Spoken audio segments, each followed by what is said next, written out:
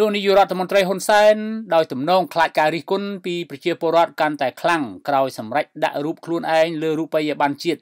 ខណៈខ្លួនឯងកំពុងកាន់អំណាចបានជំរុញឲ្យប្រជាពលរដ្ឋស្វែងយល់ខ្លឹមសារនៃរូបថតដែលមានលើរូបិយប័ណ្ណជាតិ30000រៀលក្រោយមហាជនសម្ដែងការមិនពេញចិត្តកាន់តែច្រើនឡើងច្រើនឡើងនោះ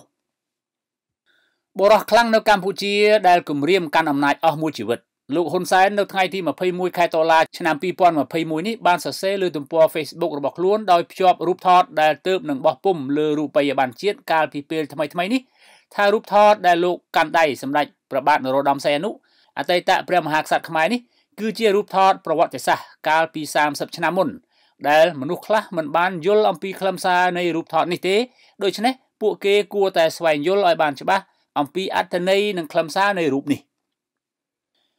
ការអះអាងរបស់លោកនាយករដ្ឋមន្ត្រីហ៊ុនសែនបែបនេះគឺធ្វើឡើងបន្ទាប់ពីរូបថតដែលបានបោះពុំលើក្រដាស់ប្រាក់30000រៀលកាលពីពេលកន្លងទៅ កំពុងរងការរិះគន់ពីគ្រប់មជ្ឈដ្ឋានយ៉ាងចាស់ដៃកាលពីថ្ងៃទី18ខែតុលាឆ្នាំ2021កន្លងទៅលោកហ៊ុនសែនបានចេញសេចក្តីសម្រេចដាក់ឲ្យប្រើប្រាស់ក្រដាស់ប្រាក់រៀលគំរូថ្មី គឺក្រដាស់រូបិយប័ណ្ណ30000រៀលដើម្បីចូលរួមអបអរសាទរ30ឆ្នាំនៃកិច្ចព្រមព្រៀងសន្តិភាពទីក្រុងប៉ារីផងនិងខួប30ឆ្នាំនៃការយាងនិវត្តន៍ចូលមាតុប្រទេសវិញរបស់សម្ដេចព្រះនរោត្តមសីហនុផងជុំវិញបញ្ហានេះកណនី Facebook ដែលមានឈ្មោះថាតាមេតាបានចូលទៅសរសេរក្នុងប្រអប់បញ្ចេញមតិរបស់នាយករដ្ឋមន្ត្រីនៅថ្ងៃនេះថាប្រសិនបើចង់រំលឹកអនុស្សាវរីយ៍កិច្ចព្រមព្រៀងសន្តិភាពទីក្រុងប៉ារី លោកគួរដាក់រូបគ្រប់ភាគីខ្មែរទាំង4 លើក្រដាស់ប្រាក់នេះមិនគួរដាក់តែរូបខ្លួនឯងបែបនេះទេ ក្រៅពីនេះទៀតបើគិតថាកិច្ចព្រមព្រៀងនេះមានតម្លៃជាប្រវត្តិសាស្ត្រលោកគួរតែរក្សាថ្ងៃទី23ខែតុលាជាថ្ងៃបុណ្យជាតិសម្រាប់ប្រទេសកម្ពុជាតែម្ដងទៅ។4ភាគីធំធំដែលបានចរចាឲ្យមានកិច្ចព្រមព្រៀងសន្តិភាពក្រុងប៉ារីឆ្នាំ1991គឺភាគីរដ្ឋកម្ពុជាដឹកនាំដោយលោកហ៊ុនសែន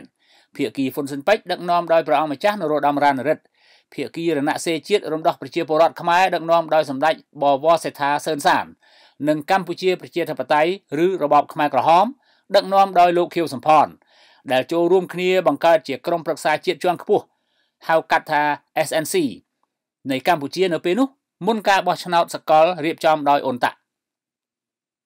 កណនី Facebook តាមេតារិះគន់ថាការយករូបខ្លួនឯងមកដាក់លើរូបិយប័ណ្ណជាតិដែលខ្លួនកំពុងកាន់អំណាចបែបនេះ គឺពិតជាមិនត្រឹមត្រូវនោះទេព្រោះថាមេដឹកនាំដែលត្រូវបានបោះពុំលើក្រដាស់ប្រាក់ទាល់តែបុគ្គលនោះត្រូវបានប្រជាពលរដ្ឋទទួលស្គាល់ថាជាវីរៈបរិសុទ្ធជាតិពិតប្រាកដនិងគ្មានបាតដៃប្រឡាក់ឈាមរះខ្លួនឯងក្នុងអតីតកាលប៉ុន្តែលោកហ៊ុនសែនគ្មានប្រវត្តិស្អាតស្អំកម្រិតនេះទេទាក់ទិននឹងការដាក់ឲ្យប្រើប្រាស់ក្រដាស់ប្រាក់30000រៀលនេះអ្នកនាំពាក្យគណៈបកកណ្ដាលអំណាចលោកសុកអេសានសម្ដែងប្រតិកម្មថាអ្នកដែលមិនពេញចិត្តក្រដាស់ប្រាក់30000រៀលថ្មីនេះសូមកុំចាយអី ប៉ុន្តែការលើកឡើងបែបនេះត្រូវសកម្មជនការពារព្រៃឈើខ្មែរលោកហេងស្រស់លើកជាសំណួរថាតើបកកណ្ដាលអំណាចឈឺចិត្តខ្លាំងមែនទេទើបឲ្យអ្នកនាំពាក្យរបស់ខ្លួននិយាយបែបនេះចំណែកឯប្រធានគណៈបកខ្មែរតែមួយលោកគុជលីបានសរសេរលើកណនី Facebook របស់លោកនៅថ្ងៃនេះផងដែរដោយឆ្លើយតបទៅនឹងការលើកឡើងរបស់អ្នកនាំពាក្យគណៈបកកណ្ដាលអំណាចថាតើក្រដាស់ប្រាក់30000រៀលនេះជាកម្មសិទ្ធិផ្ដាច់មុខរបស់គណៈបកកណ្ដាលអំណាចមែនទេ បើដូច្នោះមែនប្រហែលជានឹងមានវាសនាដូចជាក្រដាស់ប្រាក់15000រៀលជាមិនខានប្រសិនបើប្រជាពលរដ្ឋនាំគ្នាមិនប្រើប្រាស់វានៅលើទីផ្សារនោះ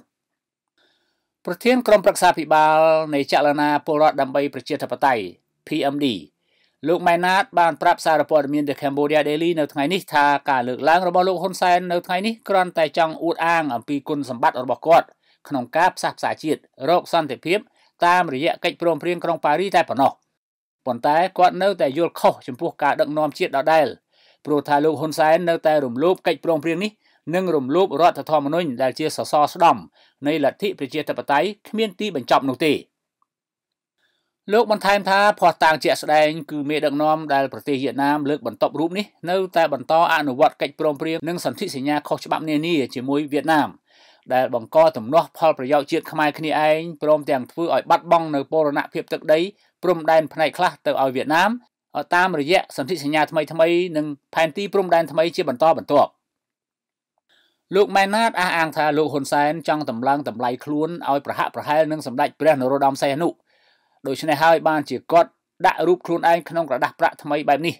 ប៉ុន្តែគាត់យល់ខុសទាំងស្រុងព្រោះថាដើម្បីឲ្យគាត់ក្លាយជាមេដឹកនាំដែលមានតម្លៃសម្រាប់ជាតិពិតប្រាកដគឺមានតែដឹកនាំរកការផ្សះផ្សាជាតិនិងស្ដារប្រជាធិបតេយ្យឡើងវិញ ឲ្យស្របតាមស្មារតីកិច្ចព្រមព្រៀងទីក្រុងប៉ារី